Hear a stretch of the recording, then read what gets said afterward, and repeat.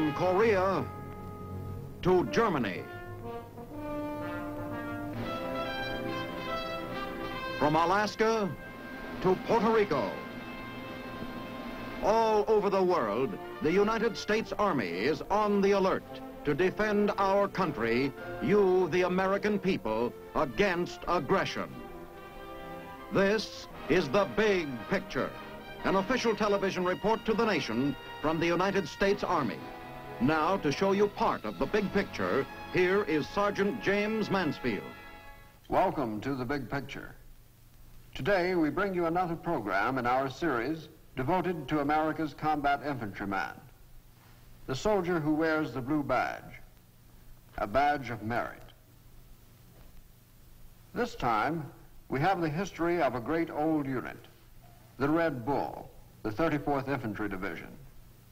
Later on, Colonel Quinn will tell you a lot of interesting facts about your nation's highest military awards, most of which are won by combat infantrymen, the men who wear the blue badge.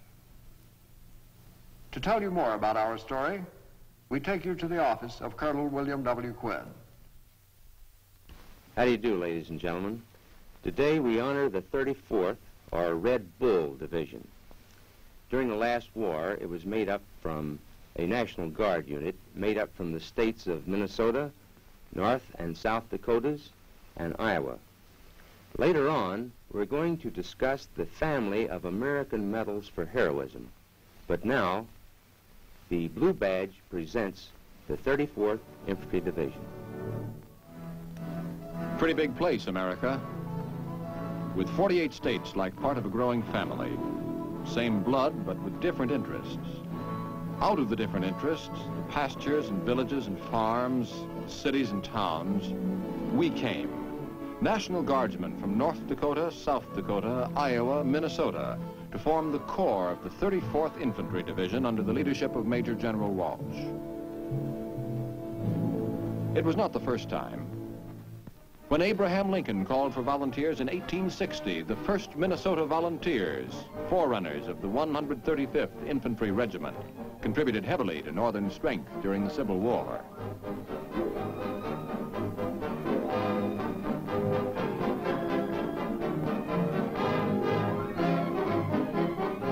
And again in 1918, men from these states volunteered to fight for America, formed the 34th Division, excelled on the field of battle.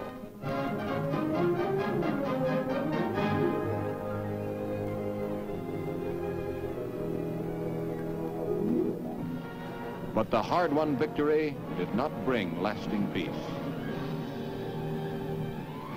A power-hungry maniac named Hitler stirred a frenzied people to aggression.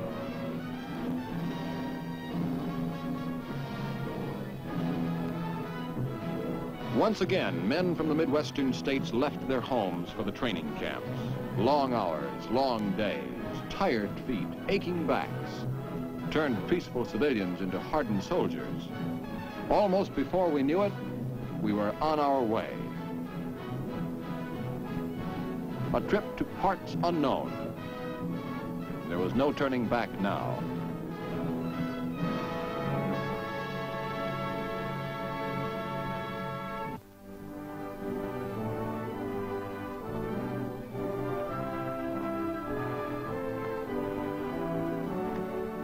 Then we were in Belfast, Irish band and all, the first American troops to reach foreign soil. Major General Hartle commanding.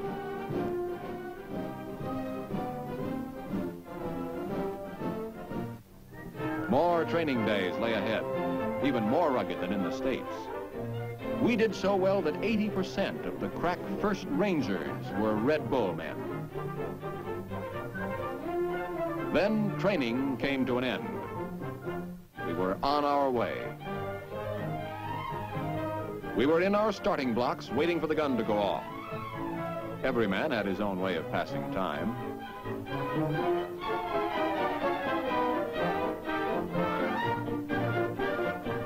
We knew something big was underway. We found out what it was. Operation Torch, November 1942. That meant landing on three separate beaches, Casablanca, Oran, and Algiers. The 168th RCT had the job. They helped establish bases for a final assault on Tunis.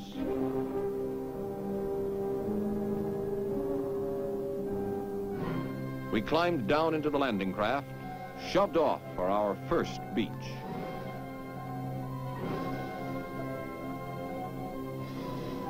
We were covered by big guns. Felt good to see those heavy shells going out.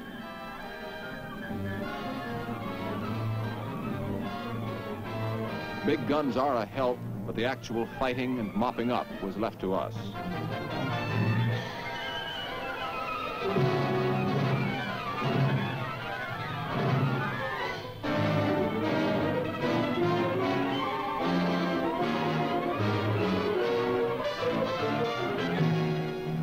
Battle was won. Time out for cheers and parades. A brief timeout. There still was a lot of ground to cover. A long, rough road lay ahead. Many battles to be fought. A few to be lost, others to be won. We were moving up now to the key defense in the Battle of Tunis, the tankers running interference for us.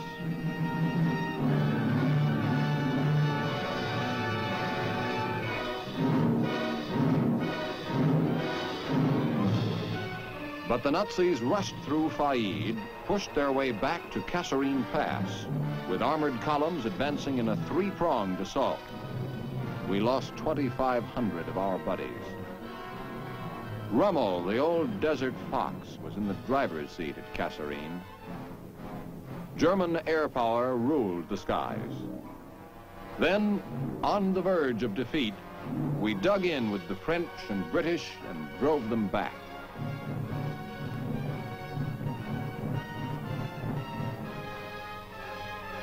Then we moved forward again.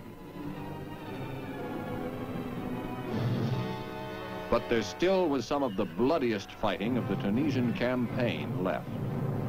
A pile of twisted rock known as Hill 609. The enemy had height, observation, fortified positions, and good fields of fire.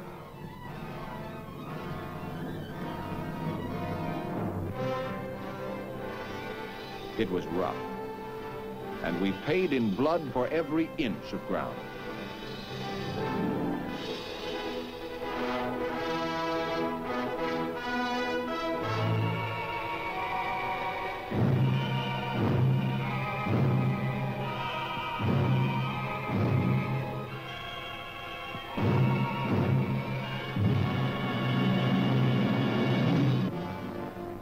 But we won that battle too, the toughest in the Tunisian campaign. And on May 1st, we held the summit of Hill 609. The 34th had come into its own as a cool, skilled fighting machine. We kept after the Germans, always moving up, pushing them back.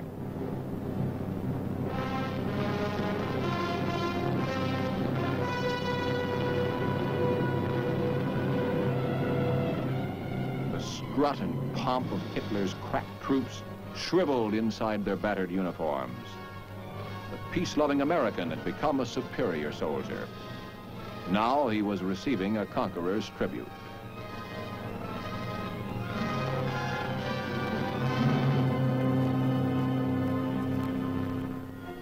In no time, the party was over. We were on our way to the Italian front, Salerno, in support of the 36th Texas National Guard Division. That was a tough beach. The Germans held the hills and held Americans in their gun sights. Attack and counterattack, the beach had almost lost, regained.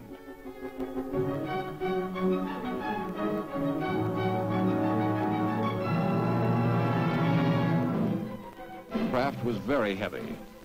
Our artillery was a prime target. Only our Allied anti-aircraft kept them off, made them pay.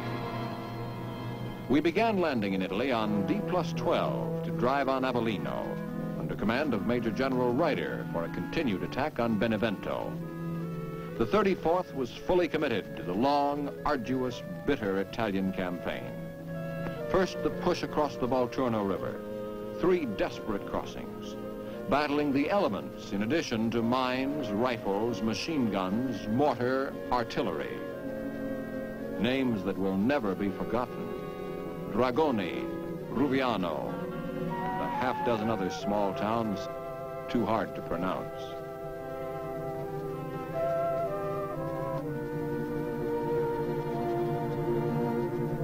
The guy who said there was no glory in the infantry said it all. There wasn't time for glory. We were on the move again.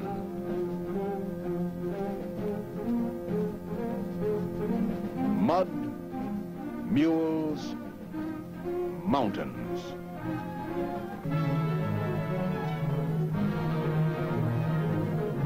And General Eisenhower, General Clark, and General Smith didn't sidestep the mud either. That meant new plans in the making. The 34th had fought its way to the German winter line. The 34th led the attempt to break the German winter line, with the commanding general laying plans for an all-out assault. Mount Pantano was the key German anchor. Once this hill was taken, other key points could be approached. Mount Pantano was first attacked on the 29th of November by the 1st Battalion, 168th Infantry. By December 4, when the 135th Infantry relieved the 168th, 777 casualties comprised the human cost for a mile's advance. With Pantano out of the way, the Fifth Army moved on. Mount Lungo, San Pietro, Mount Sammucro fell. The 34th took San Vittore, Mount La Chiaia, Cervaro, Mount Trocchio. The winter line was completely smashed. This feat, accomplished in foul winter weather against a series of mountain entrenched positions, outstanding in the history of American arms. But there's always another hill. This time, Cassino. If Cassino falls, the march to Rome is assured. But Cassino did not fall. The 34th's battle for Cassino lasted until the 14th of February with little change in position. Each day and night saw bitter engagements fought, desperate attempts by enemy and ally to gain or regain position. Our men did heroic deeds under terrific odds. Beset by winter weather, superior observation, mountain defenses, the Fifth Army failed to take Cassino. We were on the defensive. Finally, bombing of the monastery was ordered. It crumbled as we left the valley for a rest.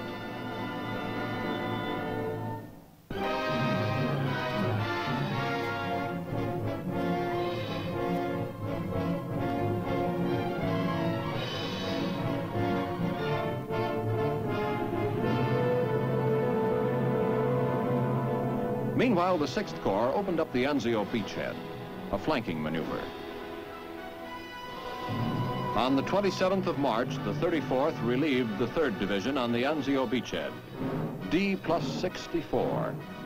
Broken in replacements on the line dug in, waiting for the breakthrough.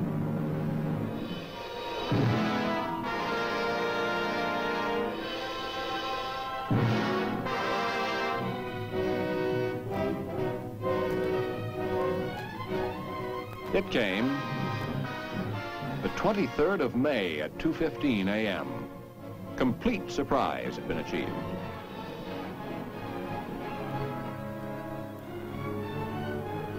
The 135th Infantry was part of Task Force A under Major General Harmon. All the first day objectives were taken. On we went.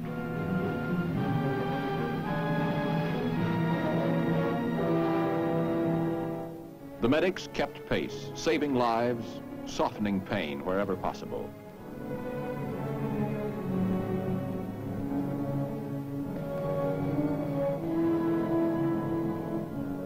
German resistance at Lanuvio finally broke about the 1st of June, and we were off on a mad dash to Rome.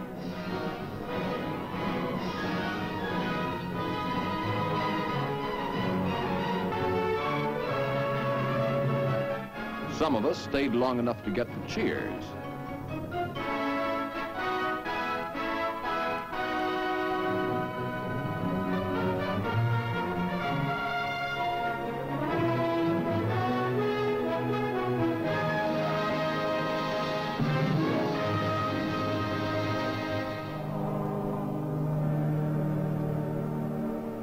But for most, we moved across the city's flank and without halting speeding up the west coast, capturing the great port of Civitavecchia, moved quickly northward to the Tarquinia area, there enjoying an all too short rest. Then northward once more.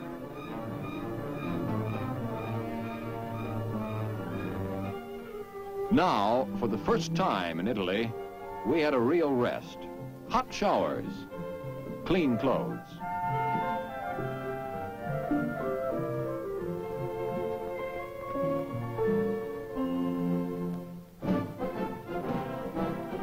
General Clark presented the presidential citation to the 100th Battalion, the famous Nisei outfit.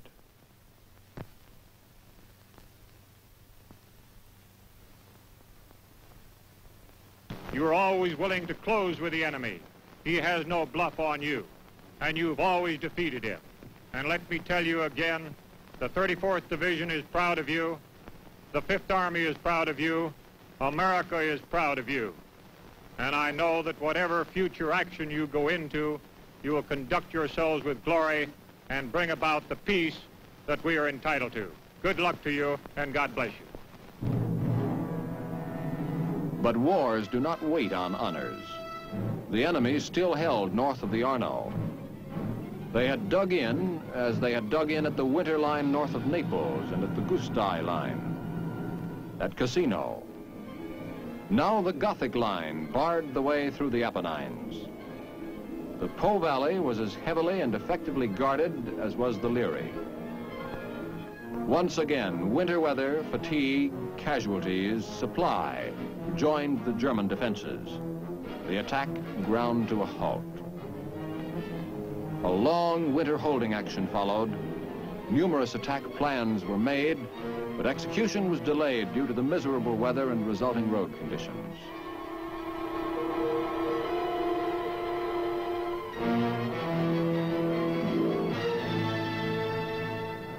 During the winter of 1944-45, General Truscott took command of the Fifth Army. In the spring, the 34th was relieved for a short rest before sparking the next all-out assault. General Charles Bolte took this opportunity to decorate many officers and men for jobs well done. The 34th did well in the matter of decorations. 14 Medals of Honor out of 201 presented to all services went to heroic members of the Red Bull Division. Also numerous DSCs and Silver Stars. April came. So did the all-out assault on the last mountain line in Italy. The 168th led off. It took four bitter days to break the enemy entrenched on Mount Belmonte, the Sevezzano Ridge, Gorgognano Church. On the night of April 17th, the 1st Battalion, guided by recently captured PWs, skirted the left flank of the 2nd Battalion, followed a stream through extensive minefields, captured hundreds of the enemy, and by morning had penetrated the full depth of the German position. During the night of April 20th, the 133rd Mounted Tanks entered Bologna. The 34th was in the Po Valley. And then the 34th shifted into high gear, turned northwest, cut through the supply lines of an entire German army attacking north, took Modena, Reggio, Parma, Piacenza, held a thin 80-mile front across the retreat route of no less than three relatively intact enemy divisions. This was one of the boldest maneuvers in the entire campaign.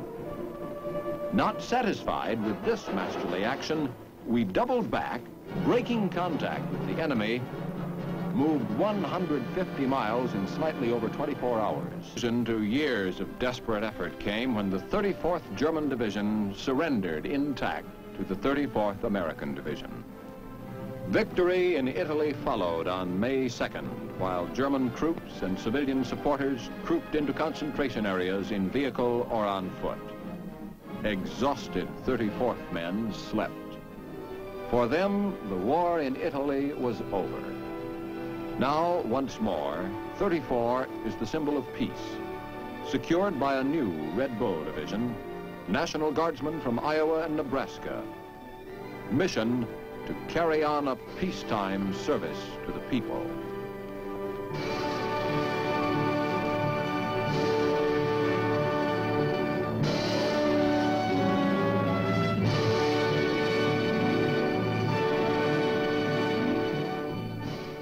Without further ado, ladies and gentlemen, let's take a look at the United States family of medals for heroism.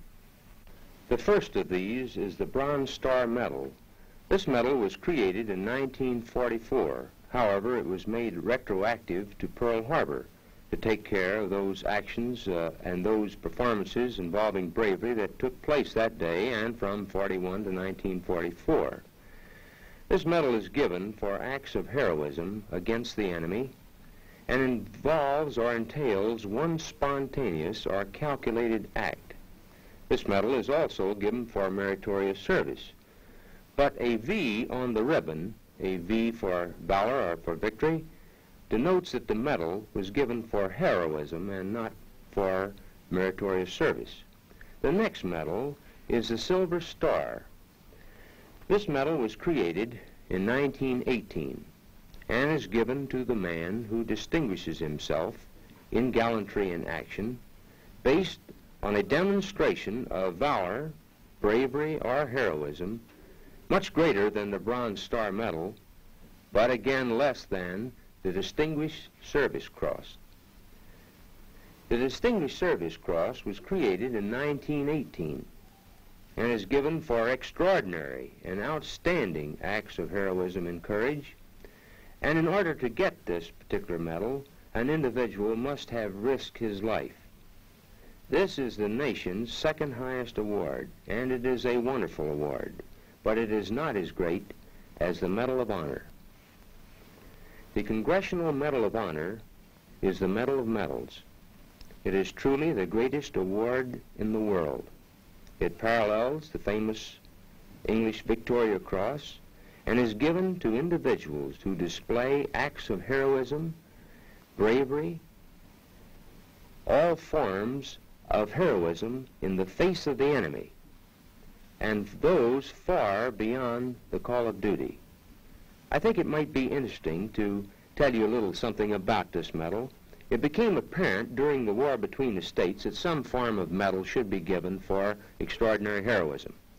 Therefore, the Congress, by resolution in 1862 and approved by the President, President Lincoln at the time, adopted this medal. It was made retroactive for activities of certain forms of combat during the Civil War and during the certain Indian wars. But so many of uh, these medals were given away during the Civil War that in 1918 the statute was re revised, making the winner of this award, making him do greater and more outstanding feats of heroism. And from that time on, 1918 until the present day, the standards for the Congressional Medal of Honor have been maintained at very, very high standards. Another element of historical interest surrounding the medal involves the first soldier to be its recipient during the Civil War, one Private Francis Brownell. It seems that on 24th of May, 1861, a Colonel E. E. Ellsworth of the 11th New York Infantry from the opposite side of the Potomac noticed a Confederate flag flying from the top of a hotel the old Marshall House in Alexandria. He enlisted the services of Private Brownell, crossed the river, and the two of them entered the hotel, went to the top of the hotel, and took down the Confederate flag. On his way down from the top of the hotel, coming down the staircase, he encountered a rebel with a gun in his hand who promptly attempted to take the colonel's life. Private Brownell stepped in and attempted to preclude the man from shooting the colonel. However, he was unsuccessful. The man shot the colonel, and of course he died later on. In the fight that ensued, Brownell killed the rebel, and for the action in attempting to save the colonel's life by risking his own was awarded the Congressional Medal of Honor. In regard to the medal, I have some interesting statistics about the rifleman and his connection with the Congressional Medal of Honor. In World War I, there were 95 Congressional Medals of Honor given away. Of these, 83 were earned by infantrymen. In World War II, a total of 292. Over three-fourths of these went to the infantry. In Korea, all services, up to June of 1952, there were a total of 71. The Army received 48, the Marines 20, the Navy 2, and the Air Force 1. Of the 71 medals, a total of 62 went to the man with the rifle. In summation, here are some of the more famous winners, some of the more famous wearers of the Medal of Honor. Sergeant Alvin York, World War I. Commando Kelly, Italy, World War II. General MacArthur in Bataan. General Wain Wainwright in Corregidor. Lieutenant Audie Murphy in France in World War II. And in Korea, Captain Ray Harvey. This brings to a close our program for today. But please look in again when we bring you the 82nd Airborne Division and an interview with a famous paratrooper. So until next week, this is Colonel Quinn speaking for the combat infantrymen who ask you to look twice at the man with the blue badge, for it's the mark of a man. The Big Picture is a weekly television report to the nation on the activities of the Army at home and overseas. Produced by the Signal Corps Pictorial Center. Presented by the U.S. Army in cooperation with this station. You can be an important part of the big picture. You can proudly serve with the best equipped, the best trained, the best fighting team in the world today, the United States Army.